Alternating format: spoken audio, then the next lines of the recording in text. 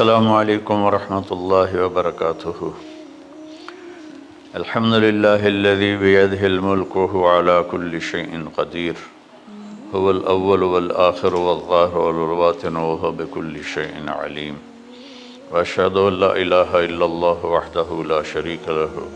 وأشهد أن سيدنا ومولانا محمدا عبده ورسوله. أرسله بالحق بشيرا ونذيرا. وداعيا إلى الله بإذنه وسراجا منيرا. صلى الله تعالى عليه وعلى آله وعلى أصحابه وبارك وسلم تسليما كثيرا كثيرا.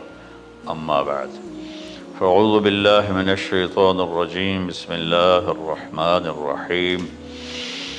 إن إبراهيم كان أمة قانتا حنيفا لله ولم يكن من المشركين شاكرا لأنعمه اجتباه وهداه إلى صراط مستقيم، ثم أوحينا إليك أن اتبع ملة إبراهيم. وقال تعالى فلما أسلم وطله للجبين وناديناه أن يا إبراهيم، قد صدقت الرؤيا، إنا كذلك نجزي المحسنين.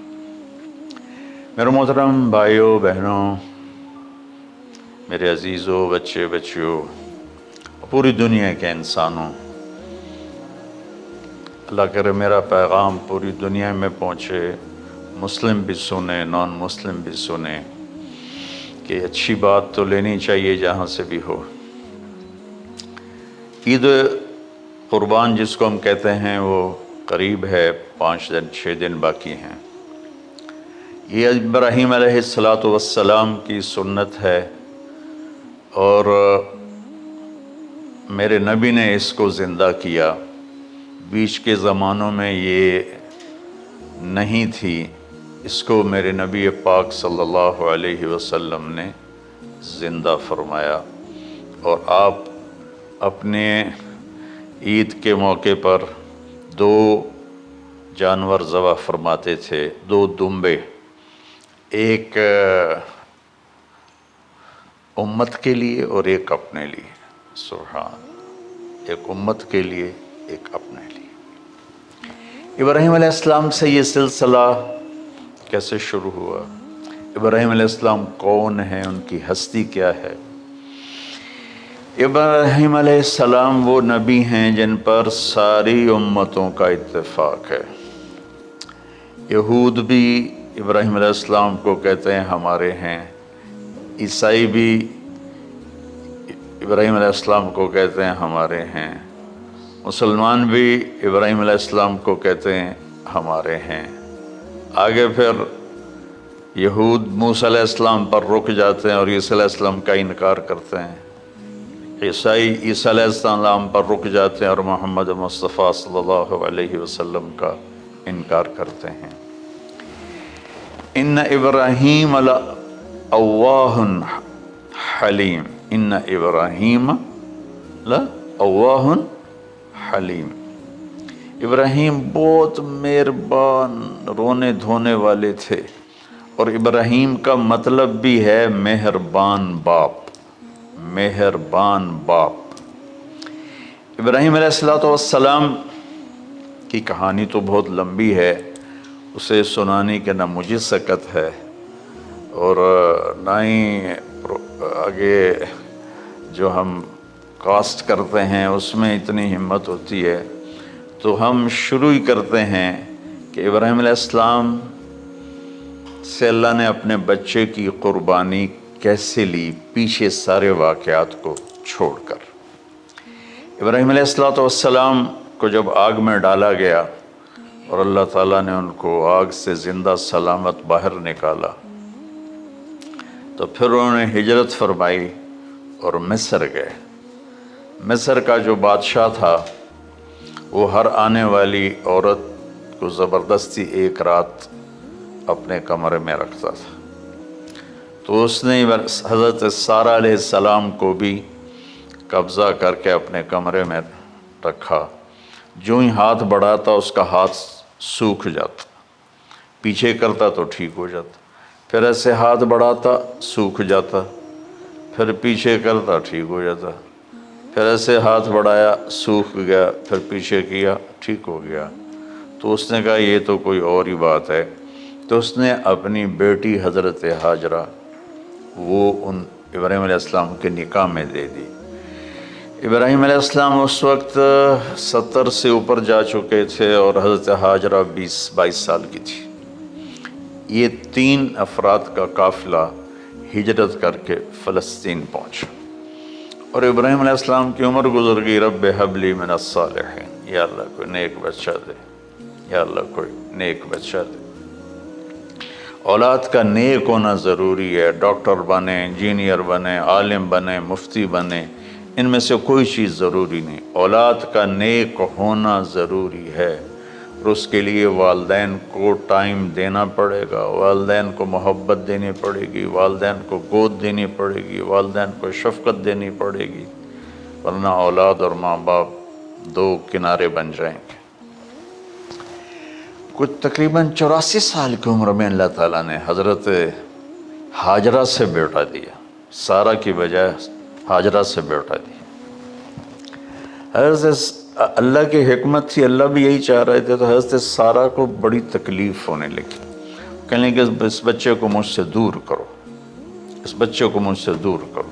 میں دیکھ نہیں سکتی تو جبریل آئے کہ اللہ تعالیٰ بھی فرما رہے ہیں کہ اسے یہاں سے دور کرو۔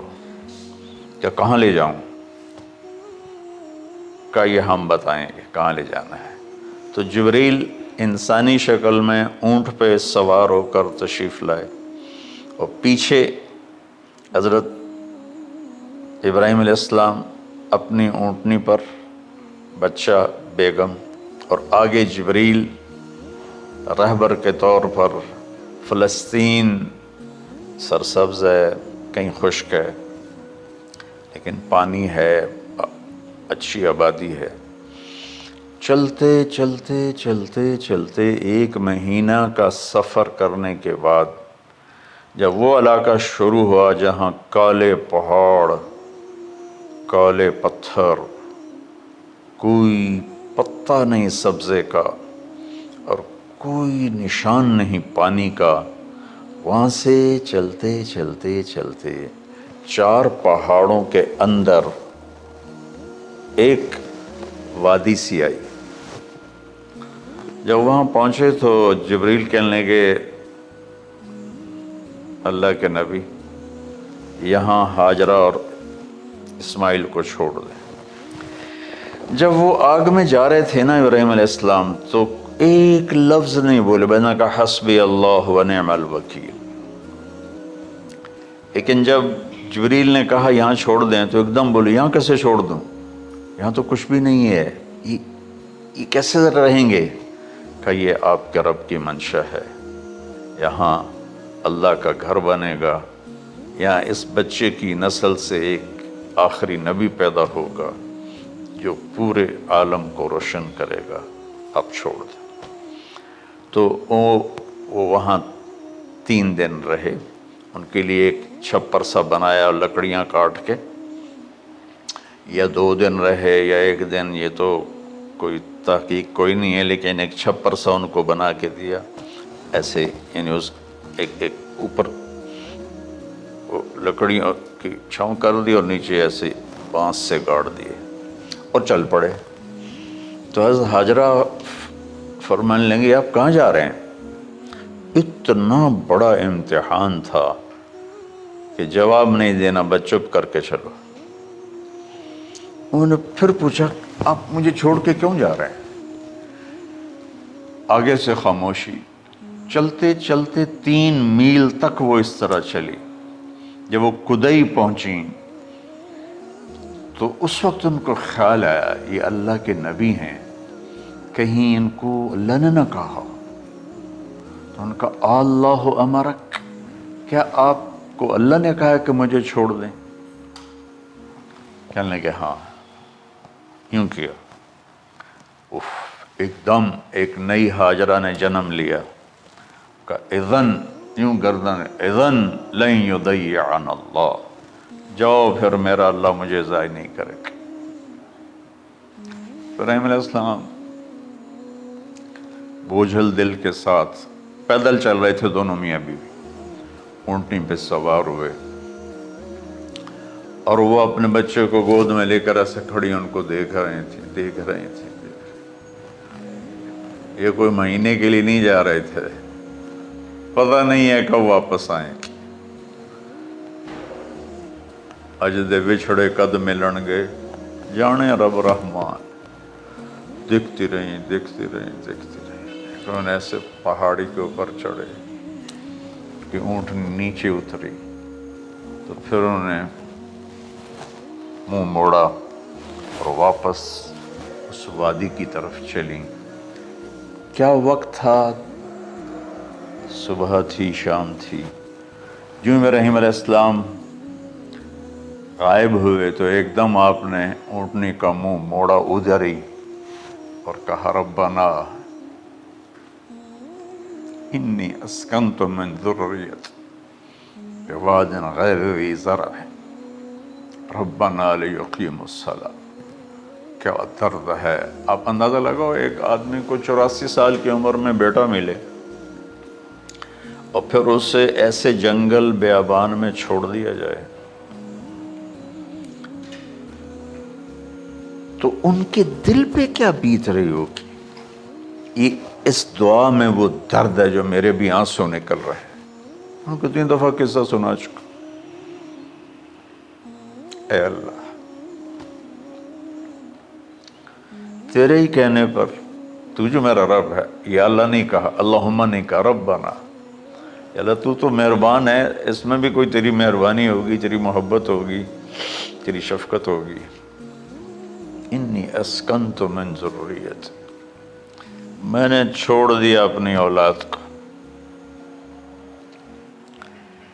یا اللہ میں نے وہاں چھوڑا جہاں نہ پتہ ہے، نہ دانا ہے، نہ پانی ہے۔ تو جان اور یہ جانے۔ اس درد بھری دعا نے عرش کو بھی ہلا دیا تھا۔ اور آپ نے منہ موڑا۔ اس باپ کو سوچو جو ہر قدم پہ اپنے معصوم بچے سے دور ہو رہا ہے۔ اور اس ماں کو سوچو جو ہر قدم پہ اپنے خامن سے دور ہو رہی ہے۔ ابراہیم کی منزل تو آگے گھر ہے، دو بیمیاں اور ہیں۔ ادھر تو پتھروں کے ساتھ دوستی ہے۔ جب حاجر میں ایک دفعہ میں ایسے سوچ میں بیٹھا میں اتنا رویا اتنا رویا۔ میں نے کہا جب وہ ہماری ماں حاجرہ وہاں اکیلی بیٹھی ہوگی۔ وہ چاروں طرف اونچے اونچے پہاڑ تھے۔ اور اندر بیٹھنے والے کو باہر کا پتہ نہیں، باہر والے کو اندر کا پتہ نہیں۔ شام ڈھلی ہوگی تو اندھیری رات نے کیا ظلم ڈھایا ہوگا۔ کالے پہاڑوں کا اندھیرا۔ اندھیری رات کا اندھیرا تارے بھی حیران ہوں گے یہ کون بی بی بیٹھی ہوئی ہے ستارے روزانہ ہی نکلتے تھے لیکن آج وہ ایک نیا تماشا دیکھ رہے ہیں کہ ایک معصوم شہزادی ایک معصوم بچوں کو گود میں لے کے بیٹھی ہے کون اسے یہاں چھوڑ گیا چاندنی رات ہی تو چاند بھی حیران ہو رہا ہوگا یہ کیا ہو رہا ہے یہ کیا ہو رہا ہے یہ کیا ہو رہا ہے اور وہ تنہا جان آسمان کو دیکھتی ہوگی۔ اللہ، یہ میرے ساتھ کیا ہوگی؟ وہ رات کیسی، پہلی رات کیسی گزری ہوگی حضرت حاجرہ پر؟ یہ ہمارے تبلیغ والے تین دن کے لیے جاتے ہیں، بیویاں شور مچا دیتی ہیں، چھوڑ کے جاندے پہ وہ چھوڑ کے جاندے پہ۔ اس حاجرہ کو سوچو، جس پر اندھیری رات تھی۔ اور اسے کچھ پتہ نہیں تھا میرے ساتھ کیا ہونے والا ہے۔ جب دن چڑھا تو سورج نے دیکھ کر اس کی آنکھیں پھٹ گئیں کہ یہ کیا ہے۔ وہ تو کسی پہ رحم نہیں کرتا، اس کی آگ نے پتھروں کو تپایا۔ میری ماں حاجرہ کے چھپر کو تپایا اور تڑپا کے رکھ دیا۔ ایک چھوٹا سی مشکیزہ تھا پانی کا۔ اس سے گھونٹ گھونٹ پی کے ان کے منہ میں بھی ڈر رہی تھی۔ اس مشکیزے پر تین دن گزرے۔ پانی ختم ہو گیا۔ ہم نائنٹی ٹو کے حج میں پھنس گئے۔ مزدلفہ سے پہلے تو ہماری بس میں پانی کوئی نہیں تھا۔ جو اس وقت ہمارا حال ہو ہمیں پتہ تھا دو چار گھنٹے کے بعد پانی ہے، لیکن جو اس وقت بچے بھی تھے، چیخ و پکار تھی۔ حاجرہ کی چیخیں کون سن رہا تھا؟ اور ادھر اسماعیل کی دھاڑ دھاڑ شروع ہو گئی، پیاس کی وجہ سے، بھوک کی وجہ سے۔ بے بس ماں دیکھ رہی ہے، میں کیا کروں؟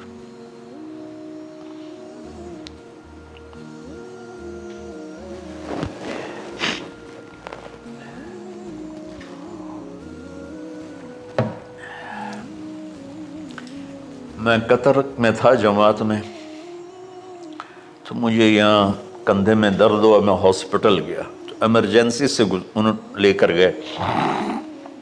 ایک بچہ تڑپ رہا تھا اس میں، جو ہاسپٹل کا بیڈ ہوتا ہے، چھوٹا سا۔ اس کی ماں ٹیک لگا کر نا اس اس کو یوں دیکھ رہی تھی۔ مجھے نہیں پتا وہ کون ہے۔ مجھے نہیں پتا تھا اس بچے کو کیا ہے، لیکن آپ یقین مانیں یہ جو میرے آنسو ہیں اس عورت کی وجہ سے کہ جن، جس خاموش، ساز خاموش فریاد سے معمور ہیں ہم۔ نالا اگر لب پہ آتا ہے تو مجبور ہیں ہم۔ جس طرح وہ ماں ساز خاموش تھی اور اس کے چہرے پر درد پکار رہا تھا۔ میں صرف ایسے گزرتے گزرتے اس کو دیکھا اور میں آج رو رہا ہوں۔ پندرہ سال کا قصہ یاد کر کے۔ تو حاجرہ کے چہرے کو کون پڑھنے والا تھا؟ کون سی ایمرجنسی وارڈ میں بیٹھی تھی؟ کون اس کے لیے کہہ رہا تھا، میں پانی لاتا ہوں، کھانا لاتا ہوں موت تھی دونوں ماں بیٹی۔ تو یہ بے قراری میں صفا مروا کی دوڑ لگائی۔ انہیں پتا تھا کچھ نہیں ہے۔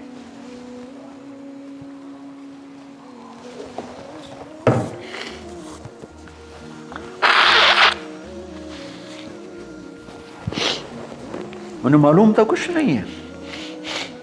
لیکن وہ اس کو تڑپتے دیکھ نہیں پا رہے۔ وہ بھاگیں، صفا پہ چڑھی ادھر دیکھ ادھر دیکھ ابھا دیکھا لمحہ دیکھا ڈٹھی دل کو دیوان ٹیکا سجن مل سم کے مر پوسا یہ ہماری سرائکی کے شہری ہے۔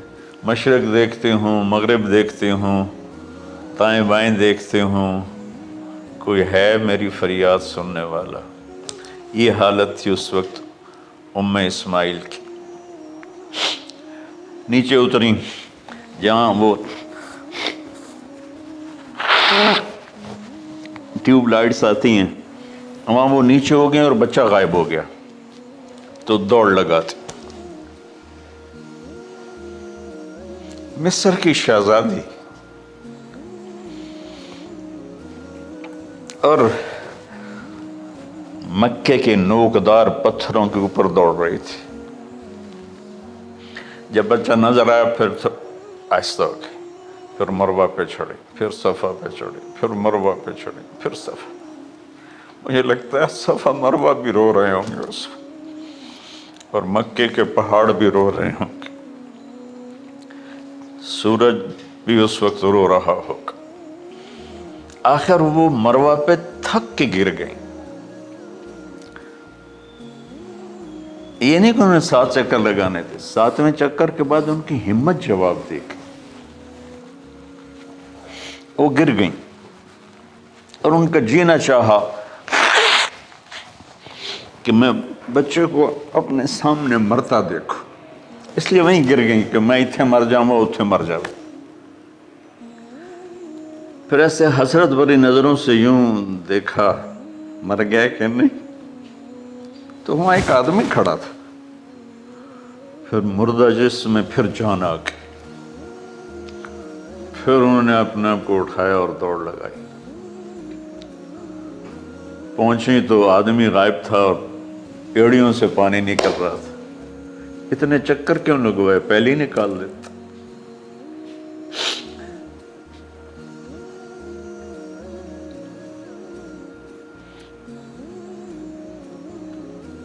عشق ہوں میں، عشق کماں میں دل رکھیں وانگ پہاڑاں ہو۔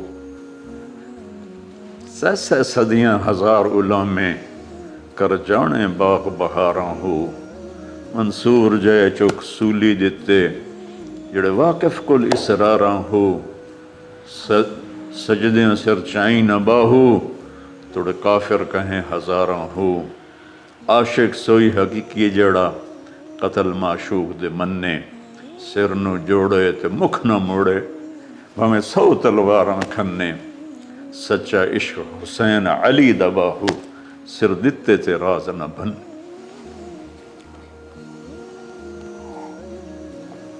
کوئی ابراہیم کا گلہ نہیں، شکوہ نہیں۔ یہ ساتھ چکر اور تڑپ اور درد۔ اس کے بعد پانی کیوں نکالا پہلے کیوں نہیں نکالا؟ کہ عشق کا راستہ ہی ہے۔ میرے گھر کے راستے میں کوئی کہکشاں نہیں ہے۔ راستہ عشق عشق اشکا سے۔ اشکا کہتے ہیں، آکاس بیل جو درخت کو چمڑ جاتی، پیلی۔ تو وہ درخت اس کا ایسا عشق ہوتا ہے، سب کچھ اس کو کھلا کے، خود خوش ہو کے، جل کے بالن بن جاتا ہے۔ اس سے اشکا ہے کہ عشق ایسی چیز ہے، عشق تے آتش ڈوہیں برابر اتے عشق دتاؤ تکھیڑا آتش ساڑے کخت کا نیرا عشق ساڑے دل جڑا خواجہ غلام فرید صاحب کی شاعری سنا رہا ہوں کہ عشق میں بھی آ گیا اور لکڑی میں بھی آ گیا۔ لکڑی کی آگ خس و خاشاک کو جلاتی ہے اور عشق کی آگ دل کو جلا کے برباد کر دیتی ہے۔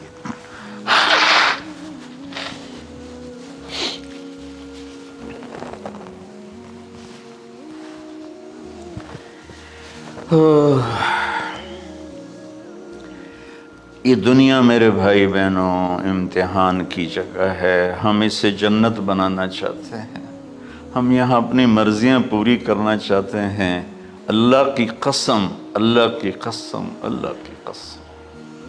جس نے اپنی مرضی پہ چلنا شروع کیا، وہ تباہ ہو گیا۔ جو اللہ رسول کی غلامی کی دائرے میں آیا، وہ کامیاب ہو گیا۔ دیکھا تو پانی ابل رہا ہے۔ ابل رہا ہے، ابل رہا ہے، فوارے مار رہا ہے۔ تو اس وقت عبرانی لینگویج تھی تو ان کا زم زم زم زم، ٹھہر جا ٹھہر جا ٹھہر جا۔ وہ نیچے زور ماں اللہ کو بھی یہی منظور تھا، وہ نیچے زور۔ میرے نبی نے فرمایا، اگر میری ماں زم زم نہ کہتی تو پورے عرب کو یہ پانی سیراب کر دیتا۔ اور آپ حیران ہوں گے، آج کل تو بہت زیادہ ایڈوانس ہے سائنس۔ تو سعودی گورنمنٹ نے کہ یہ اس کا سورس کیا ہے؟ یہ پانی کہاں سے آ رہا ہے؟ طائف تک ساری زمین کو کھنگالا۔ کوئی اس کا پیچھے سے لنک نہیں ہے۔ کہیں چشمہ ہوتا ہے نا، تو پیچھے لنک ہوتا ہے۔ کہیں سے پانی نکل ہوتا ہے، پیچھے سے لنک ہوتا ہے۔ زم زم کا کوئی لنک نہیں۔ جو ہی موٹر چلاتے ہیں تو آٹھ نو جھرنے ہیں سوراخ، وہاں سے پانی ابل ابل کے آنا شروع ہو جاتا۔ اور جو ہی موٹر بند کرتے تو وہ جھرنوں کا پانی بند ہو جاتا، اس میں نہ مچھر ہے، نہ نہ اس میں کوئی کیڑا ہے، نہ کوئی مکوڑا ہے۔ پاک صاف پانی، زم زم زم زم۔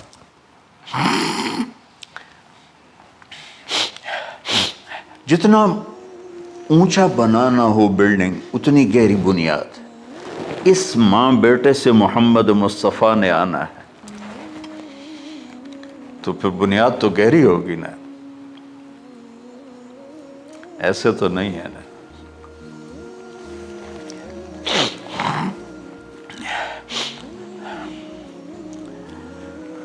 تو چونکہ محمد مصطفیٰ صلی اللہ علیہ وسلم کو اس بچے اور اس ماں سے اللہ نے وجود دینا، پیچھے ابراہیم والد ہیں، دینا۔ ابراہیم علیہ السلام کی نسل میں چار ہزار انبیاء آئے۔ بنو اسرائیل میں چار ہزار اور حضرت اسماعیل علیہ السلام کا ایک ہی جو سوا لاکھ پہ بھاری نہیں ہے بلکہ کل کائنات پہ بھاری ہے اللہ کے بعد۔ تو اس لیے پسائی ہوئی یہ جو بناتے ہیں اپنی باڈیز وہ اپنی کتنی پسائی کرتے ہیں؟ وزن اٹھاؤ توڑو وہ کیا کیا اپنے آپ کو مشقت میں ڈالتے ہیں؟ تب جا کے وزن وہ نکھر کے آتے ہیں۔ یہاں کوئی آبادی نہیں تھی۔ یمن سے لوگ جاتے تھے شام تجارت کے لیے۔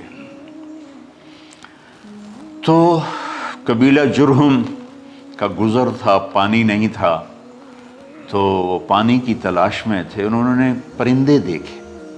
وہ کہنے کہ پرندے تو پانی پر آتے ہیں۔ انہوں نے دو آدمی بھیجے۔ آگے دیکھا، ایک خاتون، ایک بچہ اور کنواں۔ کنواں تو نہیں تھا پانی چشمہ تو وہ سارے آئے اور کہا کہ بہن ہم یہاں ٹھہر جائیں۔ کہ اب ٹھہرو لیکن پانی میرا ان کا ٹھیک ہے، پانی آپ کا ہے۔ تو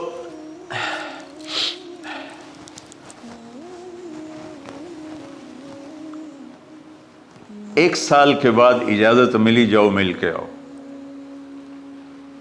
مل کے آؤ جس گھاٹی سے ابراہیم کو جدا کیا تھا اس پر کتنی دفعہ حضرت حاجرہ کی نظر پڑتی ہوگی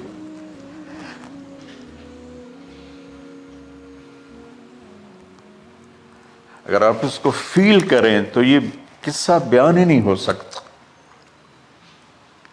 بس رونا ہی پڑے گا۔ اور خاص طور پر آج کے دور میں جب کوئی اللہ کو کی ماننے کے لیے تیار ہی نہیں ہے کوئی جہنم سے ڈرنے کے لیے تیار نہیں، کوئی جنت کی طلبگار نہیں۔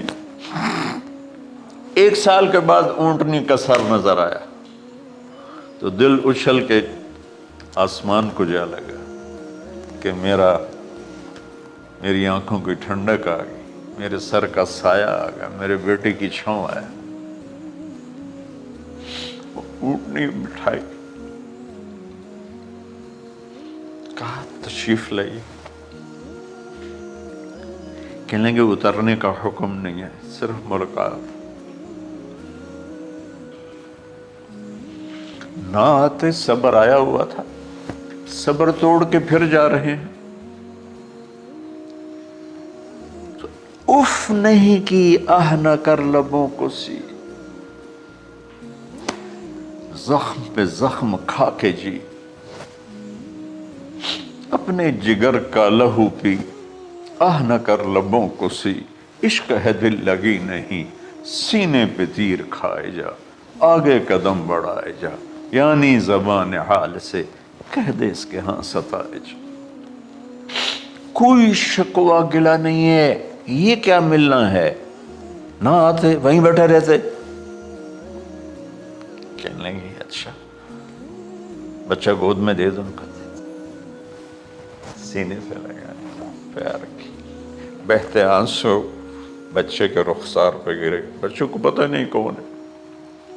کہنے لگی اجازت ہے آپ کا سر دھو دوں، منہ دھو دوں، پاؤں دھو دوں، ہاتھ دھو دوں۔ یہ پانی پاک ملا ہے۔ ٹھیک ہے۔ واپس۔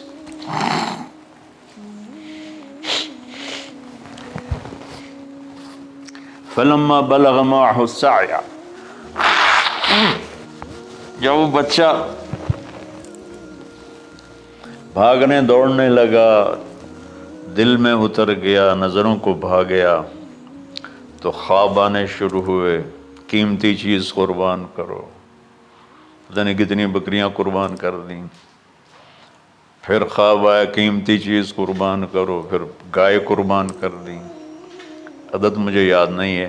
پھر خواب آیا، قیمتی چیز قربان کرو، اونٹ قربان کر دیے۔ پھر خواب آیا، قیمتی چیز قربان کرو تو پھر خیال آیا کہ یہ اسماعیل کی طرف اشارہ ہے۔ پندرہ سو کلو میٹر ہے۔ ایک مہینے کا اونٹ کا سفر ہے۔ چھری لے کر ایک باپ بچے کو ذبح کرنے جا رہا ہے۔ اس مہینے کے ہر منٹ نہیں، ہر سیکنڈ میں اس کے دل پہ کیا گزر رہی ہوگی؟ کس لیے جا رہا؟ ساری دنیا پھرتے ہیں، جب گھر واپس آنے کا ہوتا ہے تو خوش ہو رہے ہوتے ہیں کہ پاکستان جا رہے ہیں، پاکستان جا رہے ہیں۔ کتنی دفعہ اللہ نے دنیا پھرائی یہ اور اس باپ کی عمر اب بانوے سال ہو چکی۔ بانوے سال مولانا صاحب۔ اس کی اونٹنی کے قدم کے ساتھ نہیں، ہر سیکنڈ کے ہر کروڑویں حصے میں ابراہیم کا دل پھٹتا ہوگا کہ اس معصوم بچے کو ذبح کیسے کرو اللہ کی مان کے دکھا تھی۔ اللہ نے تو ہمیں دین ہی آسان دیا ہے، ہم سے تو نہیں بچوں کی قربانی مانگی۔ ابو بکر صدیق رضی اللہ تعالیٰ نے فرمایا تھا، یا رسول اللہ ایک ایک آیت ہے جس میں کا مفہوم یہی ہے۔ اگر اللہ ہمیں کہتا نا، بچے قربان کرو، ہم بھی چھریاں چلا دیتے۔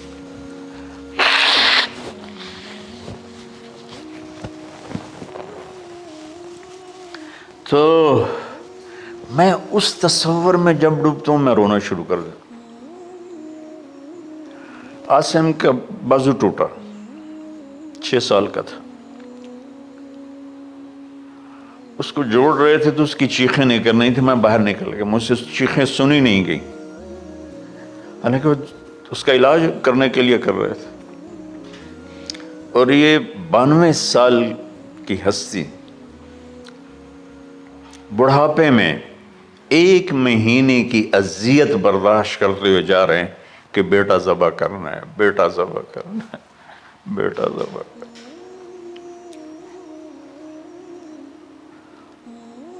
تو وہاں پہنچے تو اب اسماعیل نے جانا ہے کہ یہ ہیں میرے ابا۔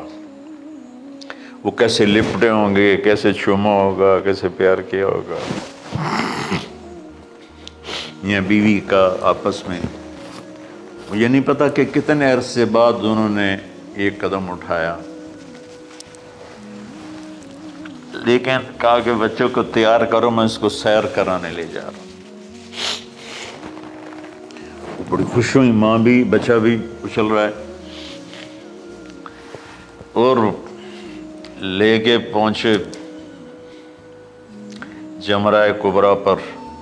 جو شیطان کو تین جگہ مارتے ہیں تو آخری جگہ، وہاں اس وقت ایک تنگ سی جگہ تھی، پہاڑوں میں گھری ہوئی۔ وہاں پہنچے۔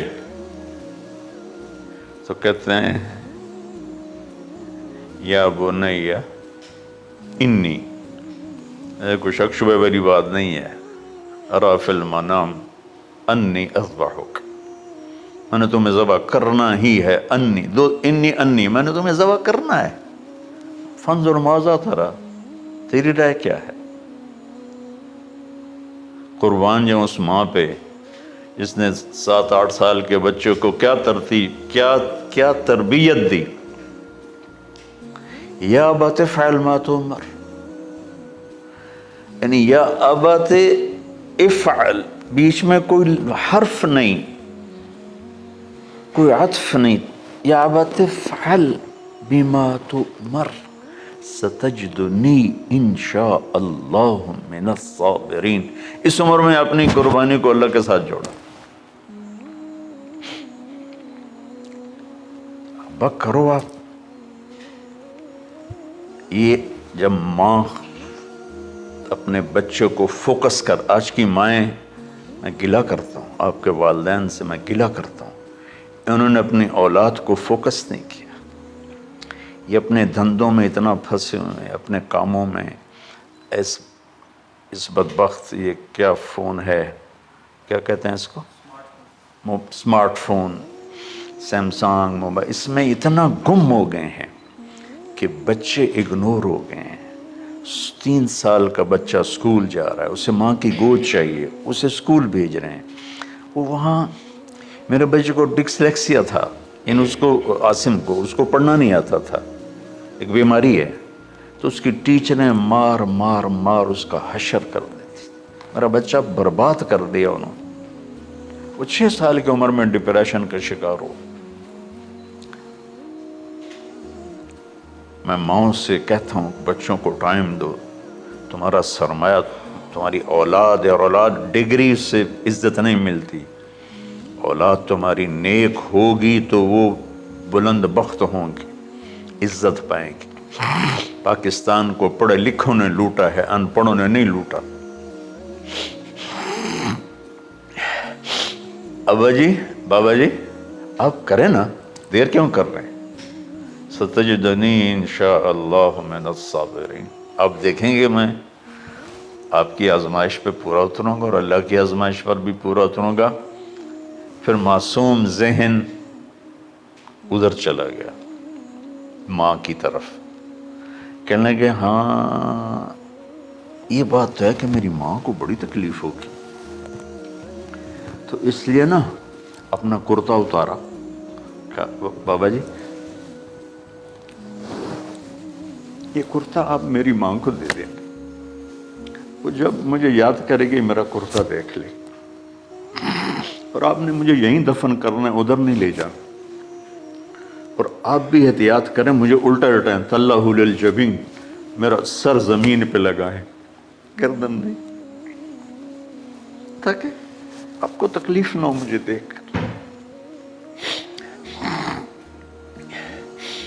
اب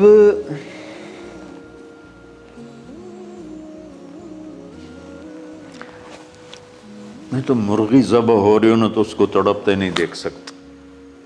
قربانی کے لیے ایک مفتی صاحبان کہتے ہیں کہ اوپر کھڑا ہونا چاہیے خود کرے یا اوپر کھڑا؟ میں نہیں کھڑا ہو سکتا۔ جانور جب تڑپتا ہے، تو میں مجھے کچھ ہونے لگتا۔ تو میں بچوں کو بھیجتا ہوں، جاؤ قربانی پہ کھڑے۔ جیسے ابراہیم علیہ السلام کا تصور کر کے میری چیخیں نکل۔ کہ انہوں نے جب ان کی کمر پہ گوڈا رکھا ہوگا، یوں کر کے، ہاتھ باندھے، پاؤں باندھے۔ تو سر کے بال یوں اٹھا کے یہاں لائے ہوں گے سر کو، اور چھری یہاں رکھی ہوگی۔ کیا کیفیت؟ تو یوں آسمان کو دیکھ کر کہ یا اللہ، کیا تم مجھ سے ناراض ہو گیا کہ میرے دل میں اسماعیل زیادہ اتر گیا ہے؟ یا اللہ، ایسا کبھی نہیں۔ ہے یا یا اللہ، یا میرا کوئی امتحان تو لے رہا ہے؟ یا اللہ، تیرے پر سب کچھ قربان ہے اور یوں چلائی۔ اور اللہ تعالیٰ نے چھری کی کیا حیثیت ہے؟ اس نے چلنے سے انکار کر دیا۔ پھر چلائے پھر چلائے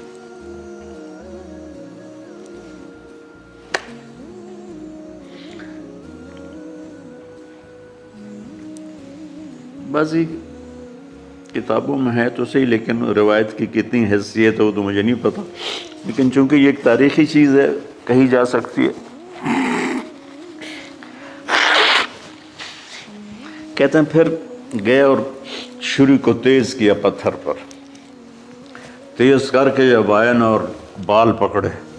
آسمان کے فرشتے دو دفعہ روئے ہیں انسانی تاریخ میں۔ آسمان کے فرشتے دو دفعہ روئے ہیں انسانی تاریخ میں۔ ایک جب ابراہیم علیہ السلام نے ان کی کمر پہ اپنا گھٹنا رکھا کہ سر کے بال پکڑ اور چھری پکڑ کے یہ کہا یا اللہ تو مجھ سے ناراض ہو تو آسمان کے فرشتوں کی چیخیں نکل گئی اور ایک جب اللہ کے نبی کو طائف میں پتھر پڑے کہ اللہ من یشکو علیہ قطر فقوت تو آسمان کے فرشتوں کی چیخیں نکل گئی جب ہمارے نبی کو طائف والوں نے مارا، اس پر یہ دو دفعہ آسمان کے سب فرشتے روئے۔ تو پھر اللہ نے کہا، بس، نادیناہ ان یا ابراہیم، قد صدقت الرؤیا انا کذالک نجز المحسنین. ابراہیم تو پاس ہو گیا ہے۔ چھری چل گئی۔ اور آنکھوں پر تو پٹی تھی۔ چھری چل گئی۔ پٹی کھولی تو سامنے کبش تھا۔ تمبا اور اسماعیل اور جبریل کھڑے ہوئے تھے۔ اس جانور کی قربانی ایک علامت ہے۔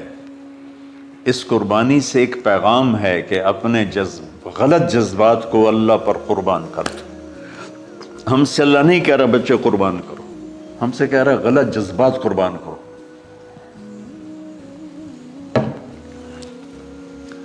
ہم سے اللہ کہہ رہا ہے، اپنے جذبات کو دبا دو جو تمہیں اللہ اس کے رسول سے دور کرتے ہیں۔ ان پر شروع چلو جو اللہ اس کا محبوب کہتا ہے، ان کو کرنے کے لیے بھی اپنے جذبات پہ چھری چلاؤ۔ سچ بولنے کے لیے چھری چلانی ہے تو چلاؤ اپنے جذبوں پر۔ اب اس کو پھیلا دو۔ ساری شریعت میں اللہ نے جو احل حلالا، جو اس نے کہا ہے یہ کرنا ہے، اس کے لیے اپنے جذبات قربان کر دو۔ وہ حرم حرامن اور جو کہتا ہے نہیں کرنا، اس کو چھوڑنے کے لیے اپنے جذبات قربان کر دو۔ تو یہ ہے قربانی کی اصل حقیقت۔ جانور دمبے ذبح کرنا تو اس کی ایک علامت ہے، اس کی ایک علامت ہے کہ ہم میرے نبی نے میرے نبی نے حج پر تریسٹھ اونٹ ذبح کی، اپنے ہاتھ سے ذبح کی، باقی سینتیس حضرت علی رضی اللہ تعالیٰ علیہ والسلام نے ذبح کیے تو بھائیو، قربانی کی اصل یہ ہے کہ ہم اللہ اس کے رسول پر اپنے جذبوں کو قربان کر رہے ہیں۔ اپنے جذبوں کو قربان کر۔ مولانا ابوالکلام آزاد رحمۃ اللہ علیہ کا میں مضمون پڑھ رہا تھا اسی قربانی پر۔ تو انہوں نے فرمایا، انہوں نے لکھا وہ خطابت اور قلم کے تو بادشاہ تھے۔ واقعی وہ ابوالکلام تھے۔ انہوں نے لکھا کہ اللہ نے چھری کے لیے چلنا طے کیا ہوا تھا۔ اللہ نے چھری کے لیے چلنا طے کیا ہوا۔ جب اسماعیل کو لٹایا گیا تو اسماعیل کو کھینچ لیا، چھری کو روک دیا۔ جب میرے نبی کے والد کو حضرت عبد المطلب جب زم زم کا کنواں کھود رہے تھے تو باپ بیٹا تھے، حارث اور عبد المطلب۔ تو تھک کر کے ایک دن کہنے لگے، یا اللہ اگر تو مجھے دس بیٹے دے گا نا تو میں ایک تیرے نام پہ قربان کروں گا۔ اللہ نے پندرہ دے دیے۔ جب وہ سارے جوان ہو گئے تو ان کو کٹھا کیا۔ بچوں، میں نے تو منت مانی تھی۔ تو انہوں نے کہا، ابا جان، آپ جس پہ ہاتھ رکھیں گے ہم تیار ہیں۔ کیا اطاعت ہے؟ تو کہنے لگے، نہیں، میں قرآ ڈالوں گا۔ جو اس زمانے کا طریقہ تھا، وہ تیروں کے ساتھ۔ تو حضرت عبداللہ کا قرآن نکل آیا۔ حضرت عبداللہ سب سے زیادہ محبوب۔ تو انہوں نے ہاتھ پکڑا چھرا اٹھایا۔ عمر بن آس رضی اللہ عنہ کے والد آس بن وائل ایک بہت بڑا کام کر گیا وہ سامنے آگے کھڑا ہو گیا۔ کہنے کہ یہ کام نہیں ہوگا۔ انہوں نے کہا، یہ سردار کا بول ہے۔ کہ آگے بھی سردار کھڑا ہوا ہے۔ میں یہ ظلم نہیں ہونے دوں گا۔ سارے مکے والے اس کے ساتھ ہو گئے۔ عبد المطلب اکیلی رہ گئی۔ انہوں نے کہا وہ جو ہے نا قطبہ کاہنہ نجران میں، وہ جو فیصلہ کرے گی یا عثفان میں میں وہ مانوں گا۔ کہ چلو۔ تو عثفان یا نجران گئے قریش مکہ کے سردار۔ تو اس کاہنہ نے، کاہنہ عورت جیسے آج اس زمانے کی جج ہوتی تھی، مرد بھی عورت میں۔ اس نے کہا کہ تم لوگ قتل کا معاوضہ کیا لیتے ہو؟ کہ دس سنٹ۔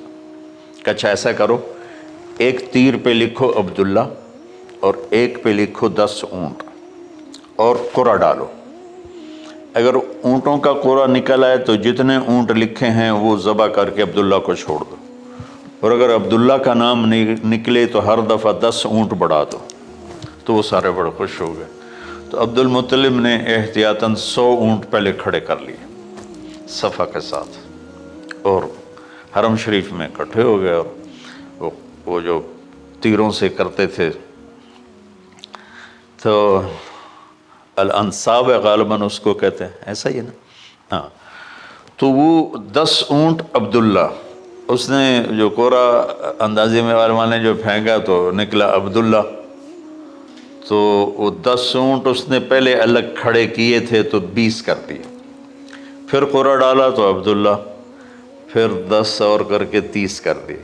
پھر قرآ ڈالا تو عبداللہ، پھر دس اور کی تو چالیس ہو گئے۔ پھر قرآ ڈالا تو عبداللہ تو وہ پچاس ہو گئے۔ پھر قرآ ڈالا تو عبداللہ تو وہ ساٹھ ہو گئے۔ مکے والوں کی آنکھیں پھٹنے لگی پسینے آنے لگے۔ پھر قرآ ڈالا، عبداللہ تو ستر ہو گئے، اسی ہو گئے۔ نوے جب ہوئے تو سب کی آنکھیں باہر نکل آئیں کہ اب پیچھے تو اونٹی ختم ہو گئی تو پھر قرآ ڈالا، سو پر تو نکلا، سو اونٹ۔ تو سب نے نعرے لگائے۔ تو عبد المطلب کے لگے، نہیں، میں ایک دفعہ اور کروں گا. کیا؟ تو پھر سو اونٹ۔ پھر سب نے نعرے لگائے کہ نہیں، میں ایک دفعہ اور کروں گا. پھر کیا تو؟ سو اونٹ۔ تو پھر عبد المطلب نے حضرت عبداللہ کو آزاد کیا، سو اونٹ خود صبح کیے۔ تو ابوالکلام آزاد رحمۃ اللہ علیہ فرماتے ہیں، دوسری دفعہ وہ چھری چلنے لگی حضرت عبداللہ پر۔ ایک واقعہ بھی اس کے ساتھ عجیب ہے۔ آپ بازار میں جا رہے تھے حضرت عبداللہ؟ تو سامنے سے ایک نا پہلی کتابوں کی عالم عورت آ گئی۔ اس نے اسے دیکھا تو کہا، عبداللہ، تیری جان بچانے پہ سو اونٹ ڈگے تھے نا کہاں؟ کہ ایک رات میرے ساتھ گزار لے، سو اونٹ میں دوں گی۔ تو اس نے نور نبوت دیکھا یہاں۔ تو آپ نے کہا، نہیں، میں عزت دار ہوں، میں یہ کام تو نہیں کر سکتا۔ تو پھر فرمایا کہ اللہ نے اسماعیل کو نکالا عبداللہ کو نکالا لیکن شروع نے چلنا تھا، جب حسین کی باری آئی تو اللہ نے شروع کو کہا، چلو۔ اور وہ کاٹتے چلی گئی کیا جرم ہولی کی میرے نبی کی ساری نسل زباب کی۔ کتنا کہا، اذکرکم فی اہل بیت۔ اذکرکم فی اہل بیت۔ اذکرکم فی اہل بیت۔ صرف ساٹھ سال بعد امت نے نواسے سمیت بہتر انسان زبا کر دی ان کی جنازے بھی نہ پڑھنے تھی اقبال نے کہا تھا نا، قتل حسین اصل میں مر گئی جزید ہے۔ اسلام زندہ ہوتا ہے ہر کربلا کے بعد۔ اللہ سے محبت کرو۔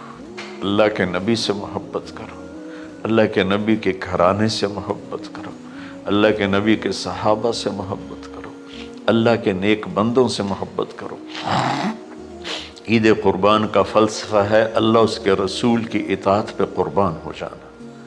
عید قربان کا فلسفہ ہے، اللہ اس کے رسول کی اطاعت میں اپنے جذبات پہ چھری چلا دینا۔ عید قربان کا فلسفہ ہے اللہ اس کے رسول کی اطاعت کے سامنے گردن کو جھکا دینا اور اس کے لیے جس بھی کڑے امتحان سے گزرنا، ہم اللہ نہ کرے، ہم امتحان نہیں مانگتے، یا اللہ نہیں مانگتے، یا اللہ نہیں مانگتے۔ آفیت مانگتے تو میرے بھائی بہنوں، ہم اللہ کی بارگاہ میں جھکے۔ ہم اللہ کی بارگاہ میں جھکے۔ اس کے رسول کی بارگاہ میں جھکے۔ تك مريان بن وجهان